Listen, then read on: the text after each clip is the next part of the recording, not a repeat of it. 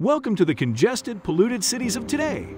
Our urban centers are facing a major transportation crisis, with increased traffic, air pollution, and noise pollution taking a toll on our health and the environment. People are looking for sustainable and efficient modes of transportation that can keep up with the pace of our fast-growing cities. But how can we solve this problem and make our cities cleaner, greener, and more livable? We are introducing the Proterra ZX5 electric bus the Proterra ZX5 electric bus is a fully electric transit bus designed to provide efficient, reliable, and sustainable transportation.